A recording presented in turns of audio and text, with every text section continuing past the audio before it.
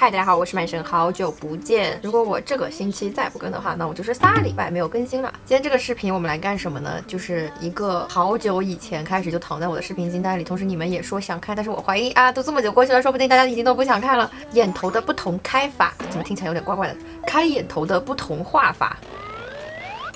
大家知道啊，由于我本人呢眼距比较宽，所以开眼头基本上对我来说是化妆必不可少的一个步骤啊。我真的很喜欢开眼头。那么如果你对开眼头这一块比较感兴趣的话，今天这个视频不要错过。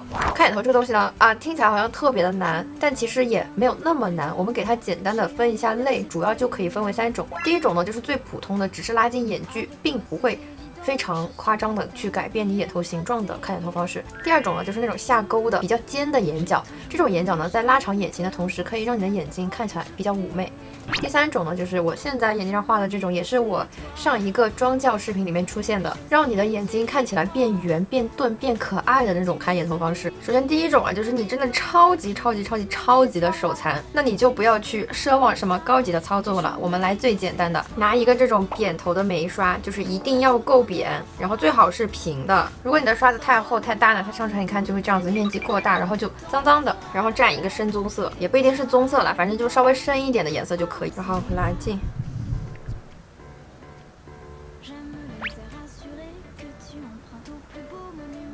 对，先把颜色放在这里，然后拿个小棉签稍微晕染一下。这种就是最最最最最简单的用眼影来开眼头，好处呢就是简单，坏处呢就是它可能不太持久，因为它毕竟是个粉状。所以呢，我平时一般还是习惯用这个眼线胶笔。然后我发现呢，在一开眼头的时候，如果你不想让你的妆看起来太烟熏，就是整个妆感太重的话，用这种红色的，我就直接在这个基础上画了，我不擦掉了。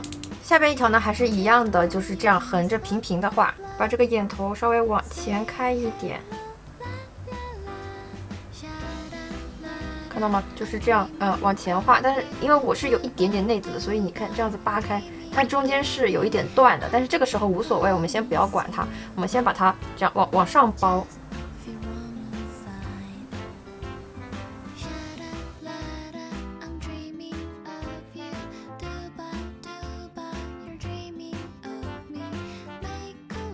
就跟你原本这个眼睛睁开之后这个眼角的弧度平行，这样子的话它不会太奇怪。然后呢，还是因为内眦包眼角的这个问题，所以你睁眼看啊没有什么问题，对不对？但是如果我闭上眼睛或者是往下看，你就可以看到这个中间它是空的啊，这条线它就整个悬空，就非常的奇怪。所以我们要把这个小三角填上，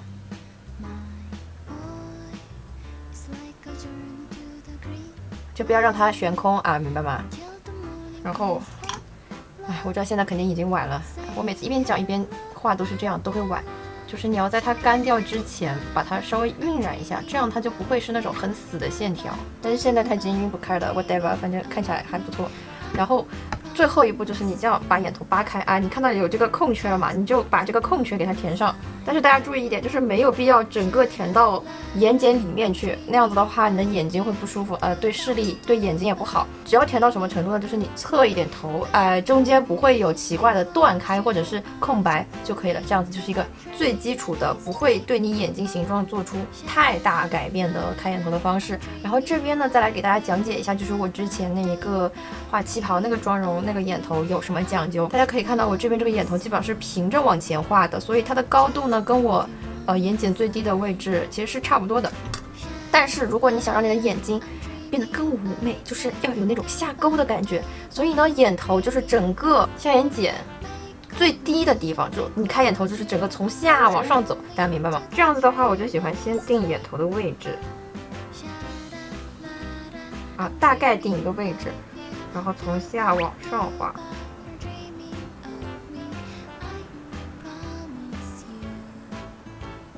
这样哎，一笔跟你的上眼皮连起来，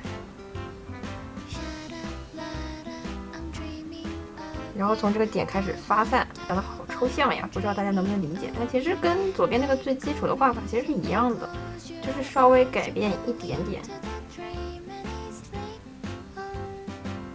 那么这边这个眼角的高度就比这边要低，然后衔接下眼睑的时候呢，也是从下往上走。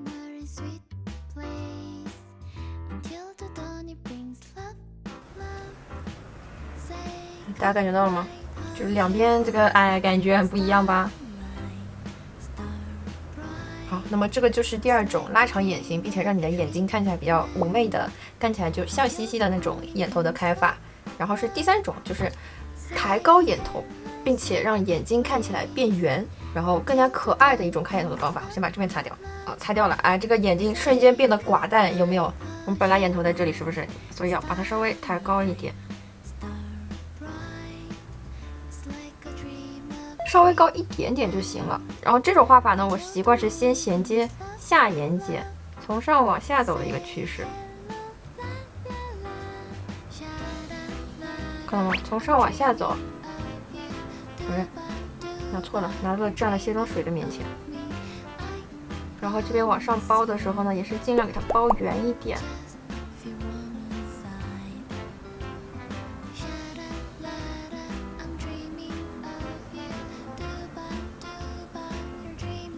大家感觉到没有？就本来呃这个眼头是这样走的，然后现在是把它拉下来了。这个如果你想要效果好一点呢，其实最好是要配合一点眼睑下至，到时候再加一点眼睑下至，就是你眼睑下至这样包过来的这个啊，又拿了卸妆水，你眼睑下至这样包过来的这个延长线啊，跟你这个眼头能接上的话，它看起来就会比较自然。你感受一下两边这个眼头的区别哈。那么我把这边也去改一改，但是有一个误区啊，我觉得可能大家会有点搞不清楚的，就是，嗯，让你眼睛变圆的看眼头方式呢，它不一不一定会让你的眼头变圆。你们应该能感觉到我这边这个眼头其实还是画之前眼头啊，只是眼头会更圆，但是呢，只要你让这个眼角的这个角度变大。你的眼睛，你整个眼睛会看起来变圆。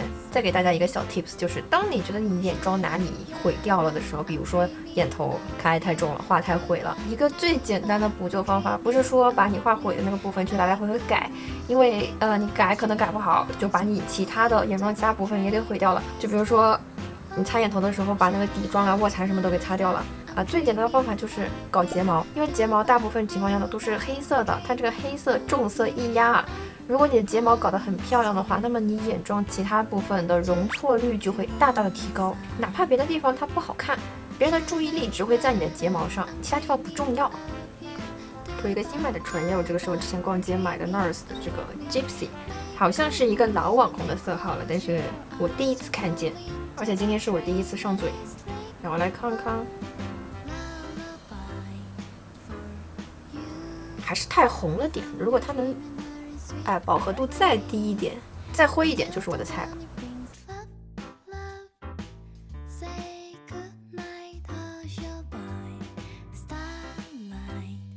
哎，全部涂满之后，有点香哎，玫瑰豆沙色，嗯，好好看哦。OK，那么以上就是本视频的全部内容，不知道大家有没有学会？如果学会的话，就在弹幕上扣个一，让我知道。我们下个视频再见，拜拜。